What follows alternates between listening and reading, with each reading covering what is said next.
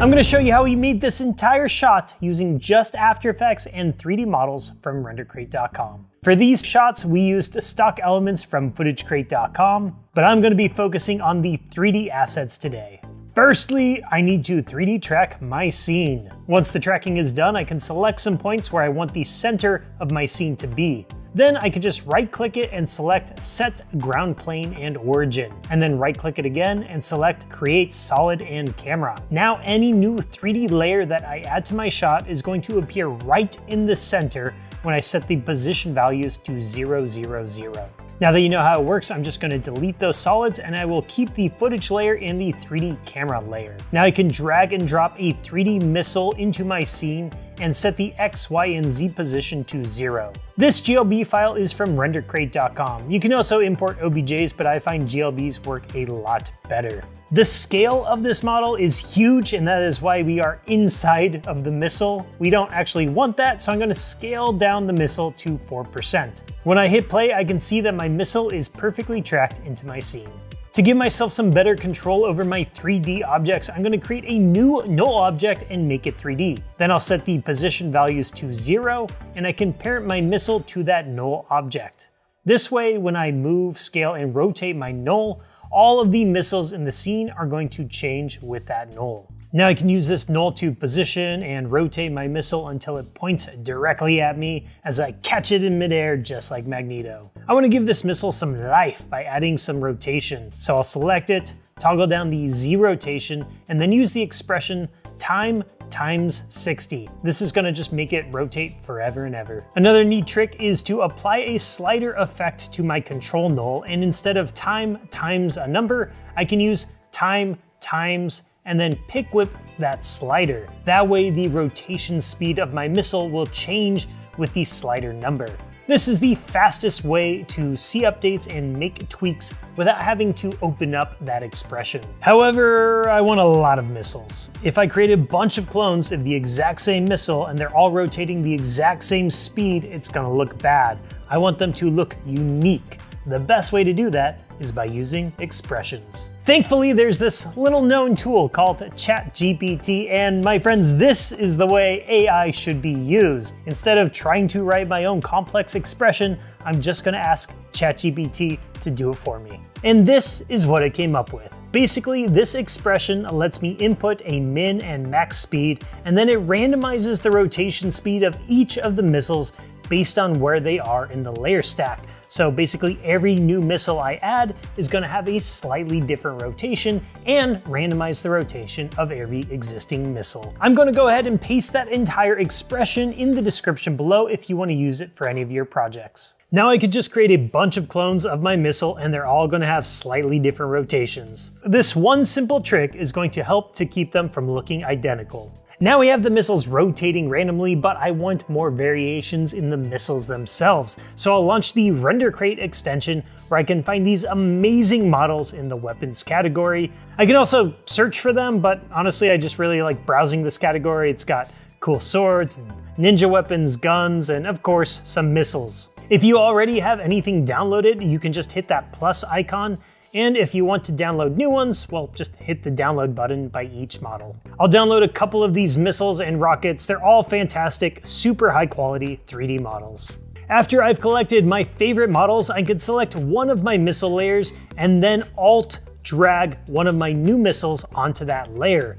That's going to replace the missile in my scene with one of the downloaded models. It's going to also keep the position and rotation data. This is going to let me select and adjust my missiles very quickly and very easily and let me art direct the scene, giving me a little more creative control. After Effects can now light 3D scenes with HDRIs. There are many HDRIs available on the Render Crate plugin, but for now, I'll use this Park HDRI I found on ambienttextures.com. It matches my scene really, really well. I'll just drag that HDRI into my composition and disable the visibility. Now I can just create a new environment light layer and I'll call it HDRI. In that HDRI layer, I'll click the source dropdown and select the Park HDRI. Now it's affecting the light on my 3D missiles. Here, I'll just increase the intensity. My missiles are starting to look more believable, but they look a little flat to me, so I'll just add a sun to give them a little more contrast. I'll do this by creating a new light and making it a point light with a warmish tone. Here I could just play with the intensity and position until it looks right. This was a very busy park environment, but Nico did a really good job of framing everybody out, except for this one dude and his dog that somehow slipped into the scene. We could of course just paint them out, but I like the idea that they're just on a nice walk and they see Magneto saving the world, catching these missiles and saving them. So right now all the missiles are pointed down, but I want them pointed directly at me, kind of like they're surrounding me. So I'll just make some minor rotation adjustments. I can also use some of these sideways fog elements from footagecrate.com and place them where my missiles are positioned so it kind of looks like exhaust is coming out of those missiles. To add a little more contrast to the sky, I'm going to use this smoke element from Graphics Crate as a 3D layer, and I'll just push it way back in Z space scale it up, and set all the material options to zero so that it doesn't catch any of the 3D lights. Then I could just do some light masking feathering and drop the opacity until it sits nicely in the scene. Now this is looking pretty good, but I feel like the missiles are too static. I want them to feel like they're kind of coming in and then hitting resistance and slowing down a little bit. To do this, I'm going to create some position keyframes. First, I'll create a keyframe where I want my missile to end up, drag that keyframe later in the timeline, move to the beginning of the timeline, and then move the missile backwards. That way, my missile moves forward to its stopping point. It's looking okay, but right now it is moving linearly. I want it to dramatically ease in. I can do this by going to my graph editor and make sure I'm on the edit value graph. I can't edit these yet with little handles, so I have to right click on my position and go to separate dimensions. It's a very weird little quirk of After Effects. Now I can alt click and drag and that's gonna give me these handles so I can create this very intense easing curve. From here I'll just tweak this graph until the motion feels exactly how I want it to. I'm not going to do this for all of the missiles because I don't want them to feel like they're all arriving at the same time. I'm only going to do this for a couple more of the missiles and I'm also going to give some a little rotation as if they are like bouncing off of this invisible barrier. That way they go from this kind of like very intense directional feel to suddenly being like poof, like flown away. The last thing I need are some shadows. Now there is a shadow catcher that comes in the new version of After Effects, but as you can see, it leaves something to be desired. Now hopefully this gets better in the future. Now I messed with a bunch of settings to try and get the shadow catcher to work, but unfortunately it never quite did. If you have any recommendations or solutions, please let me know in the comments below. In the meantime, you can just render out some fake shadows yourself, creating a black and white matte of a spinning rocket and 3D tracking it to your scene. Because these rockets are floating up in midair, you don't have to be 100% accurate with your shadow. David did come up with another technique that is is extremely effective, but it is a bit more advanced, so I'm to let him break it down for you. So for this effect, I'll essentially be creating a flat view of the shadows and projecting that onto the ground. First, I'll pre-compose all of the missiles into their own composition and collapse the transforms. Then I'll duplicate the comp and call it Shadow Map.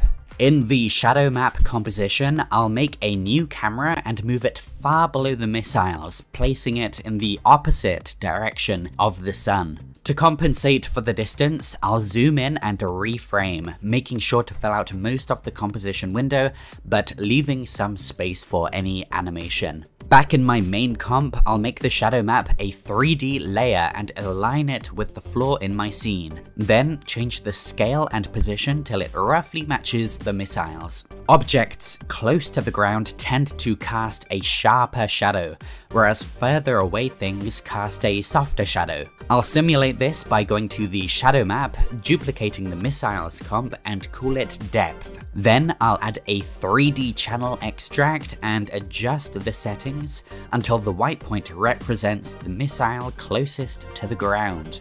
Once I get it to have some accurate depth, I'll hide the depth comp and add a compound blur to my missiles layer, and select the depth layer and effects and more from the blur layer dropdown.